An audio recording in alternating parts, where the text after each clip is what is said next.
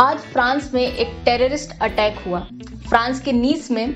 और ये terrorist attack word हम यूज़ नहीं कर रहे हैं, बल्कि ये वर्ड यूज़ किए हैं वहाँ के मेयर ने। उन्होंने कहा है कि everything suggest it was a terrorist attack इसके अलावा मैं इस इंसिडेंट इस अटैक की कुछ बातें बता देती हूँ, जिसमें कुल तीन लोगों की मौत हुई और एक लेडी की बिहेडिंग भी हुई, यानी उसका सर काट दिया गया। यह घटना हुई है नोट्रेडम चर्च की और वहाँ से ये निकला आरोपी और इसने और लोगों को भी घायल किया। इसके बाद पुलिस ने उसे गिरफ़्तार किया गोली मारकर लेकिन गिरफ्तारी के दौरान भी वह अल्लाह अकबर कह रहा था। इस प्रकार की घटना फ्रांस के पिछले कुछ दिनों में जो हो रहा है उसका ही एक सीक्वल है। और इसलिए मेरे साथ है तुषार इस पर चर्चा करने के लिए। हेलो तुषार। हे निष्ठा। तो आज जो अटैक हुआ वो आपको क्या लगता है उसके बारे में? निष्ठा कहीं ना कहीं ये कहना एक तरह से गलत भी है बट कहीं ना कहीं एक्सपेक्टेड था ऐसा होना। क्योंकि आप पिछले कुछ दिनों में देखें, जो वहाँ के प्रेसिडेंट के स्टेटमेंट्स थे against Islamic terrorism specially after what we saw the reaction against the Paris beheading वो जो सब था, एक पूरा रिएक्शन एक सोशल रिएक्शन उस पेरिस बिहेडिंग की तरफ़ the teacher who was beheaded because he showed some caricatures of prophet Mohammad एक तरह से एक्सपेक्टेड था कि जो पूरा बैकलैश है it will cause another backlash from the other side और आज वही हुआ।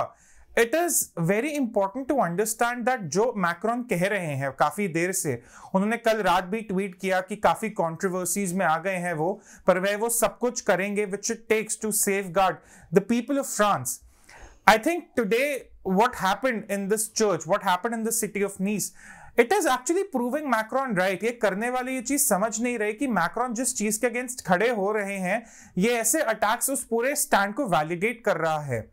दूसरी चीज़, ये चर्च में होना खुद में ही बहुत बड़ी बात है। चर्च अगेन हम भूले ना it's a place for worship it's not a place where terrorist attacks should happen तो एक टेररिस्ट एंगल तो है ही इसमें बट एक रिलीजियस एंगल भी आएगा कि क्या अब टेररिस्ट अटैक्स चर्च में होंगे, क्या कल को टेररिस्ट अटैक टेम्पल्स में हो सकते हैं, गुरुद्वाराज में हो सकते हैं? ऐसी डिस्कशन अब होंगी।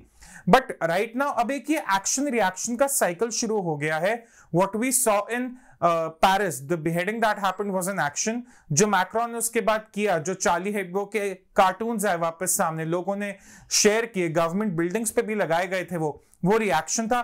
आज दोबारा उस रिएक्शन के अगेंस्ट एक रिएक्शन है। अब ये पूरा साइकिल शुरू हो गया है, निष्ठा। एंड आई डोंट नो ये कहाँ खत्म होगा, कैसे खत्म होगा? जी, और ये जो आपने चर्च वाली बात कही, वो बहुत इंपॉर्टेंट है, क्योंकि नीस के मेयर ने भी कहा था कि it's all about symbolism church क्यों चूज़ किया गया? क्योंकि वो कोई मैसेज देना चाहते थे शायद।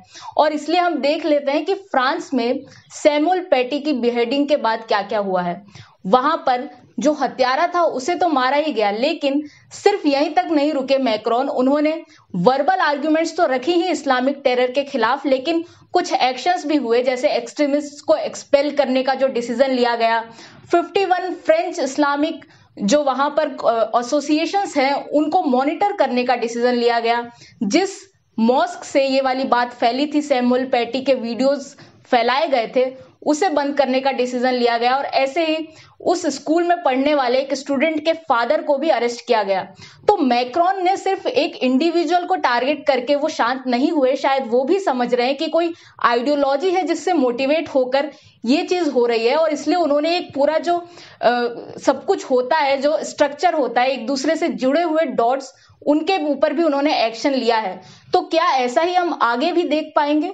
निष्ठा बहुत ज़रूरी है, ये जानना कई बार ये जो एक्शन होता है लीडर्स का, ये ये कह के डिसमिस कर दिया जाता है कि अरे ये तो नेशनलिस्ट लीडर है। जैसे जब भी प्रधानमंत्री नरेंद्र मोदी या चीफ मिनिस्टर योगी आदित्यनाथ, मैं एग्ज़ाम्पल के तौर पे कह रहा हूँ they talk about curbing Islamic terrorism बहुत जल्दी कुछ मीडिया वाले कहते हैं, अरे ये तो नेशनलिस्ट लीडर्स हैं, अरे ये तो इस्लामोफोबिया इंकरेज कर रहे हैं, ये वो।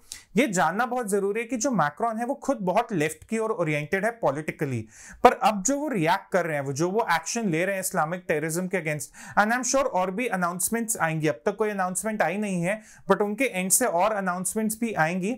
उन्होंने इस चीज़ को समझ लिया है कि ये नाइफ अटैक से ट्रक अटैक से जो स्टैबिंग्स होती रहती है, और ये आज की चीज़ नहीं है, यूरोप में 2015 से शुरू हो चुका है ये सब। ये एक इंडिविजुअल एक्शन नहीं है, कहीं ना कहीं ये एक बिगर रैकेट है, एक रेडिकलाइजेशन पूरा चल रहा है, जिसके ओरिजिन कहीं ना कहीं तो हैं। अब ये आप इसको इस्लामिक टेररिज्म कह लीजिए, आप इसको इस्लामिक स्टेट के फाइटर्स कह लीजिए, वो बयालीस हज़ार फाइटर्स जो 120 देशों से लड़ने गए थे और कुछ वापस अपने देश में गए और रेडिकलाइजेशन अब शुरू कर दिया उन्होंने वहाँ पर। ये उनके ये वहाँ से ओरिजिन कर रहे कहीं ना कहीं से तो इसके ओरिजिन हैं। और ये ओरिजिन अब यूरोप में भी फैल चुके तो Macron is going to be the first European leader जो पॉलिटिकल करेक्टनेस को बाहर फेंकेंगे, कचरे के डब्बे में डालेंगे और सीधी बात करेंगे कि देखिए, ये एक प्रॉब्लम है। इसको टैकल करना होगा। अब दूसरी बात आती है कि इसका सीधा प्रभाव पड़ेगा इमिग्रेशन पे। इमिग्रेंट्स जो आ रहे हैं मिडिल ईस्ट से, क्योंकि सीरिया में हम देख रहे हैं the civil war has just been raging on and वहाँ से काफ़ी इमिग्रेंट्स आए हैं यूरोप में पिछले पाँच सात सालों में। ध्यान इस बात का देना होगा कि इमिग्रेंट से किसी को मनाई नहीं है। हमेशा हम ये बात कहते हैं कि immigration is not a problem illegal immigration is a problem but even if you talk about legal immigration there needs to be discussion now that जो इमिग्रेंट्स यूरोप में आए मिडल ईस्ट से, ठीक है, उनका रिलीजन है, वो उसको फॉलो करना चाहते हैं, बहुत बढ़िया। It's European nation are a democracy और ऐसा होना चाहिए। बट क्यों उन्हें तकलीफ़ होती है when they are asked to follow the law of the land अगर फ्रांस या जर्मनी या कोई भी मैं किसी भी यूरोपियन देश की बात करूँ they are free and open country there are democracy and they pride themselves in being one why do these immigrants want the countries they are being allowed into to form to adopt their conservative narrative, their conservative stance on religion and other principles. ये बातचीत होनी बहुत ज़रूरी है कि ऐसा नहीं हो सकता कि इमिग्रेंट्स पहले तो दूसरे देश में जाएँ और फिर उसी देश में जाकर अपना राज चलाए। ये चलना अब गलत है और आई थिंक अब ये डिस्कशन होगा क्योंकि मैंने वही बात कही, ये एक्शन रिएक्शन का साइकिल इतनी जल्दी खत्म नहीं होगा। जी, और ये जो इमिग्रेंट्स की बात है, शायद इसी कारण से यूरोप में हमने स्कैटर्ड अटैक्स देखे और इंडिया या फिर साउथ ईस्ट एशिया में ऑर्गेनाइजेशंस चलती हैं, जैसे टेरर मॉड्यूल्स चलते हैं, उनके अटैक होते हैं। लेकिन ये जो अटैक्स हैं यूरोप के, जो स्कैटर्ड हैं, लेकिन फिर भी एक आइडियोलॉजी है जिससे ये पूरे आपस में कनेक्टेड हैं। और जो ट्रक इंसिडेंट की बात आपने कही, वो इसी जगह पे हुआ था। नीस में ही ये 2016 में ये ट्रक अटैक किया गया था, जिसमें 86 लोग मरे थे। तो इस प्रकार से ये पूरा एक चीज़ है और इसको काउंटर करने के लिए जो डेटरेंस लाना है हमें उसके लिए ये पॉलिटिकली करेक्टनेस छोड़नी पड़ेगी, जैसा कि आपने सही कहा। लेकिन यूरोप में अभी तक ऐसी मानसिकता नहीं थी। वहाँ के लोग अभी तक इस्लामिक टेररिज्म कुछ होता है, इस चीज़ को एक्सेप्ट करने के लिए तैयार नहीं थे। लेकिन अब ये जो एक नया चीज़ शुरू किया है मैक्रोन ने, वो अलग लीडर्स कैसे फॉलो करेंगे? देखिए निष्ठा ये बहुत ज़रूरी है जाना कि मैक्रोन अभी अकेले हैं। We talk about the backlash of course Germany में एंजेला मर्कल के अगेंस्ट भी काफ़ी पॉलिटिकल बैकलैश विटनेस किया गया था because she gave a very free hand to immigrants and उसके सोशो इकोनॉमिक कॉन्सिक्वेंसेज देखे गए थे उस देश में। स्वीडन की बात करें अगर, वहाँ क्राइम बहुत बढ़ गया है इमिग्रेशन की वजह से और ये हम नहीं कह रहे, वहाँ का डेटा कह रहे हैं। We are just quoting the data अगर लोग गूगल पे जाए and they Google Sweden crime rate they'll see a Swift increase in वहाँ के जर्नलिस्ट वहाँ के लीडर्स खुद बोल रहे हैं।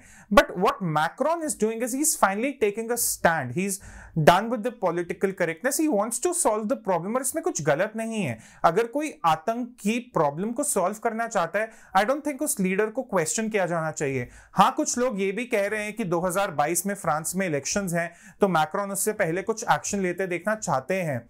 बट जो भी है an action needs to be taken और बहुत ज़रूरी है यूरोपियन नेशंस मैक्रॉन के साथ खड़े हो इस वक्त चाहे वो यूनाइटेड किंगडम हो जहाँ एशियंस की बहुत बड़ी पॉपुलेशन है चाहे वो स्वीडन भी हो चाहे वो और स्कैंडिनेवियन कंट्रीज़ हो चाहे वो और यूरोपियन कंट्रीज़ हो they all need to come together and support Macron की प्रॉब्लम किसी समुदाय से नहीं है प्रॉब्लम किसी रिलीजियस ग्रुप से नहीं है किसी रिलीजन uh, के लोगों से नहीं है प्रॉब्लम उस टेररिज्म से है जो कहता है कि आप law of the land follow ना करें। जो कहता है कि you have to stab someone inside a church to make a point जो कहता है कि टीचर को बिहेड करना किसी तरह का जिहाद है। प्रॉब्लम ये है प्रॉब्लम वहाँ के लोग नहीं है, सारे इमिग्रेंट्स नहीं है। इस चीज़ को समझना बहुत ज़रूरी है और सारे लीडर्स को साथ आना पड़ेगा क्योंकि अकेले मैक्रॉन कुछ नहीं कर पाएँगे। ऑफकोर्स ये कुछ दिन ट्रेंड चलेगा कि India stand with France France take action France ने काफ़ी एक्शन लिया भी है। They are not you know taking anything easy ना उन्होंने अपने कार्टून्स भी निकाल दिए चार्ली हेडबो के। उन्होंने टर्की को भी काफ़ी वर्बल अटैक किए बट सिर्फ़ वहाँ बात खत्म नहीं होनी चाहिए।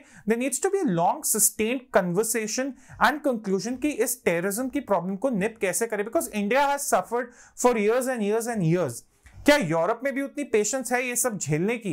एंड उस दिन भी मैंने इस बारे में चर्चा की थी, निष्ठा, एक पुरानी वीडियो में। मैंने तब भी ये कहा था कि Europe is solving a very historical problem in a very contemporary fashion और यही चैलेंज उनके सामने है कि सदियों पुरानी प्रॉब्लम जो और देशों में थी, जो इंडिया कहता था हमारे यहाँ है, पर पूरी दुनिया में कोई नहीं सुनता था, अब उनके दरवाजे पर है, अब वह उसे कैसे टैकल करेंगे? तो ये देखना काफ़ी यही मैं देखना चाहूँगा अगले कुछ महीनों में, अगले कुछ सालों में। जी, और जो फ्रांस को सपोर्ट करने की बात है तो कल एम e ने स्टेटमेंट जारी कर दिया है, और वहीं दूसरे जो कुछ इस्लामिक कंट्रीज़ है, वहाँ से बॉयकॉट फ्रेंच प्रोडक्ट्स की कॉल भी हमें देखने को मिली। मुझे ये वर्ल्ड पॉलिटिक्स में एक कॉन्ट्राडिक्शन लग रहा है कि चाइना में जो उइगर मुस्लिम्स के साथ हो रहा है, उसके लिए कभी किसी ने बॉयकॉट चाइनीज़ प्रोडक्ट्स नहीं कहा, लेकिन फ्रांस को ये इस्लामिक कंट्रीज़ कुछ हैं, जैसे टर्की और पाकिस्तान इसे स्पेयर हेड कर रहे हैं, वो फ्रांस को टारगेट कर रहे हैं, ये एक कॉन्ट्राडिक्शन दिखा मुझे। पाकिस्तान की तो बात ही मत कीजिए। आई मीन इमरान खान पे मुझे हँसी आती है, अगर आप सही पूछे तो।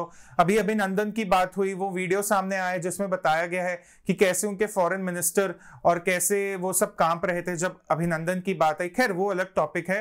But Pakistan is dependent on China अगर आज हम इकोनॉमिक सॉवरनिटी की बात करें, पाकिस्तान का अपना कोई वजूद रहा ही नहीं है। They dependent on China dependent on CPEC और इमरान खान से पूछा गया था एक इंटरव्यू में कि चाइना में जो हो रहा है, उस पर आपके क्या विचार उन्होंने बहुत आराम से कह दिया कि मुझे तो पता ही नहीं चाइना में क्या हो रहा है।